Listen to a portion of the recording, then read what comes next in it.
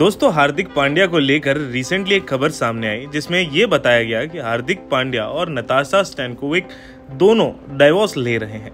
अब इसके पीछे का रीज़न कोई भी नहीं जानता, लेकिन ये बात तो तय है कि नताशा और हार्दिक का डाइवोर्स होता है तो दोनों में से एक इंसान की प्रॉपर्टी एक इंसान के पास चली जाएगी, और हार्दिक की 70 परसेंट प्रॉपर्टी नताशा के पास जाने की बात जो चल रही है, जैसा कि हमने आपको बताया था, जिसमें फैंस भी रिएक्ट करते नज़र आ रहे हैं, उसमें एक और ट्विस्ट सामने आ गया है। दरअसल ये ट्विस्ट है कि हार्दिक की जो ज़्यादातर प्रॉपर्टी है, वो पूरी तरीके से उनकी मम्मी के नाम पर है। और इस चीज़ का खुलासा उन्होंने ब्रेकफास्ट विद चैंपियंस के दौरान किया था, जब गौरव कपूर के साथ उनका एक इंटरव्यू आया था।